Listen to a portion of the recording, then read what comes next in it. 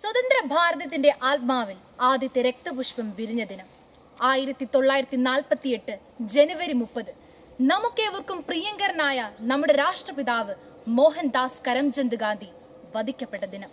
സ്വതന്ത്ര ഇന്ത്യയുടെ ആദ്യ പ്രധാനമന്ത്രി ജവഹർലാൽ നെഹ്റു ഈ ദിനത്തിൽ രാജ്യത്തോടായി പറഞ്ഞു. നമ്മുടെ ജീവിതങ്ങളിൽ നിന്നും വെളിച്ചം മാഞ്ഞുപോയി. രാജ്യമെങ്ങും അന്ധകാരമാണ്. അതിനാൽ ഭാരതം ഈ ദിനം രക്തസാക്ഷിത ദിനമായി ആചരിക്കുകയാണ്.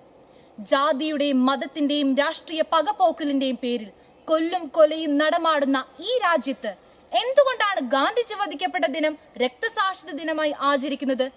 അതിനുത്തരം ഒന്നേയുള്ളൂ. ആയിരത്തി തൊള്ളായിരത്തി നാൽപ്പത്തി എട്ട് ജനുവരി മുപ്പത് ബിർള ഹൗസിന്റെ മൈതാനത്ത് വെച്ച് നാദുറാം വിനായക് ഗോഡ്സെയുടെ വെടിയേറ്റ് പിടഞ്ഞു വീണ് മരിച്ചത് വെറും ഒരു ഗാന്ധിയല്ല. ഭാരതത്തിന്റെ ആത്മാവിനെ തൊട്ടുണർത്തിയ മഹാത്മാഗാന്ധിയാണ്. അഹിംസയുടെ അനശ്വര തത്വങ്ങൾ ഒരു നാടിനെ മുഴുവൻ പഠിപ്പിച്ച് സ്വാതന്ത്ര്യത്തിന്റെ പൊൻപുലരിയിലേക്ക് ഭാരത ജനതയെ വഴി നടത്തിയ മഹാത്മാഗാന്ധി തനിക്ക് വേണ്ടി വധിക്കപ്പെടുന്നവനല്ല രക്തസാക്ഷി. മറിച്ച് സമൂഹത്തിന്റെ ഉപരി നന്മയ്ക്ക് വേണ്ടിയുള്ള യജ്ഞത്തിൽ ഒരുവൻ വധിക്കപ്പെടുമ്പോൾ അവൻ സമൂഹത്തിൽ രക്തസാക്ഷിയായി മാറുന്നു. രക്തസാക്ഷികളുടെ ചുടുനിടം വീണു കുതിർന്ന ഈ മണ്ണിലാണ് ക്രിസ്തുമതം അന്നും ഇന്നും എന്നും വളരുന്നത്. ഇനി വളരേണ്ടത് ദൈവത്തിന്റെ സുവിശേഷം ലോകത്തിന് നൽകാനെത്തിയ ക്രിസ്തുനാഥൻ ഗാഗുൽത്തായിൽ മരക്കുരിശിൽ മൂന്നാണികളാൽ തറയ്ക്കപ്പെട്ട് വധിക്കപ്പെട്ടപ്പോൾ ദൈവസ്നേഹത്തിന്റെ ആദ്യത്തെ രക്തസാക്ഷി അവിടെ രൂപമെടുത്തു. കാൽവരിയിലെ തീജാലയിൽ നിന്ന് വിശ്വാസ ദീപം ഉൾക്കൊണ്ട് ലോകത്തിന്റെ നാനാ ഭാഗങ്ങളിലേക്ക് വിശുദ്ധരുടെ രക്തസാക്ഷികളുടെ വിശ്വാസികളുടെ ഒരു വലിയ സമൂഹം ഉടലെടുത്തു.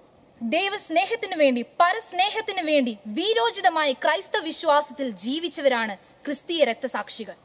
തങ്ങളുടെ ക്രൈസ്തവ വിശ്വാസം എതിരാളികളുടെ വാൾമുനയിലും തോക്കിൻ തുമ്പത്തും ആളിപ്പടരുന്ന തീജ്വാലയുടെ മധ്യത്തിലും അവർ സർവശക്തിയോടെ ഏറ്റുപറഞ്ഞു.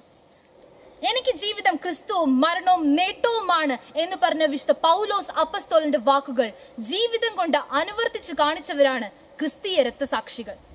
ക്രൈസ്തവ രക്തസാക്ഷികളുടെ ജീവിതം ശത്രു സ്നേഹത്തിന്റെയും സഹനത്തിന്റെയും ഉദാത്ത മാതൃകകളായിരുന്നു.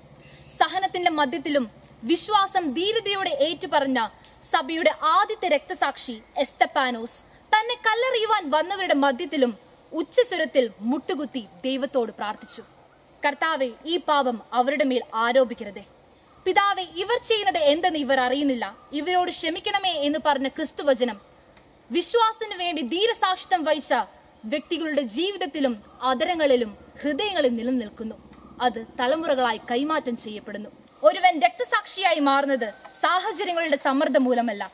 മറിച്ച് ആ വ്യക്തി തന്റെ ജീവിതത്തിൽ നിലനിർത്തിക്കൊണ്ടുവരുന്ന വിശ്വാസത്തിന്റെ ദൈവസ്നേഹത്തിന്റെ കവിഞ്ഞൊഴുകലിലാണ് ആളി പടരലിലാണ് രക്തസാക്ഷിത്വം. കാരണം അടിയുറച്ച വിശ്വാസവും ദൈവസ്നേഹവും ഇല്ലാത്ത വ്യക്തി തന്റെ ജീവിതത്തിൽ ഉണ്ടാവുന്ന വിഷമഘട്ടങ്ങളിലും മരണവക്രത്തിൽ നിന്നും ഉടനടി ഓടിയൊളിക്കുകയുള്ളൂ. ക്രൈസ്തവ സഭയുടെ ചരിത്രം പരിശോധിക്കുമ്പോൾ നമുക്ക് വ്യക്തമാകുന്ന കാര്യം ഓരോ രക്തസാക്ഷിയും തങ്ങളുടെ ജീവിത കാലഘട്ടത്തിൽ വിശ്വാസത്തിന് വലിയ സാക്ഷ്യം വഹിച്ചവരായിരുന്നു എന്ന സത്യമാണ്. വിശ്വാസത്തിന് വേണ്ടി ജീവത്യാഗം ചെയ്ത രക്തസാക്ഷികളെ അനുസ്മരിക്കുമ്പോൾ തന്നെ സത്യത്തിനും ദൈവത്തിനും വേണ്ടി നിലകൊള്ളുന്ന ജീവിക്കുന്ന രക്തസാക്ഷികളെ നാം വിസ്മരിച്ചുകൂടാ? അവരുടെ ത്യാഗനിർഭരമായ പ്രയത്നമാണ് കത്തോലിക്ക സഭയുടെ മുതൽക്കൂട്ട്. രക്തസാക്ഷികളുടെ ചുടുനിനം വീഴുമ്പോൾ സഭാതരു തഴച്ചു വളരുന്നു. ഈ രക്തസാക്ഷിത ദിനം എന്നെയും നിങ്ങളെയും ഓർമ്മിപ്പിക്കുന്ന ഒരു വലിയ സത്യമുണ്ട്. വിശ്വാസം വില കൊടുത്ത് ജീവിക്കാനുള്ളതാണ്. പീഡനങ്ങളുടെ നടുവിൽ തള്ളിക്കളയേണ്ടതും വലിച്ചെറിയേണ്ടതും വിട്ടുവീഴ്ച ചെയ്യേണ്ടതുമല്ല വിശ്വാസം. ധൈര്യമുണ്ടോ വില കൊടുത്തും വിശ്വാസം ജീവിക്കാൻ? സഭയ്ക്കും രാഷ്ട്രത്തിനും വേണ്ടി രക്തസാക്ഷ്യം വരിക്കേണ്ടി വന്നാലും ധീരതയോടെ ചങ്കുറ്റത്തോടെ ഏറ്റുപറയുവാൻ. അങ്ങനെ മറ്റൊരു മഹാത്മാഗാന്ധിയും ഗ്രഹാൻ സ്റ്റെയിനും സിസ്റ്റർ റാണി മരിയുമായി തീരുവാൻ.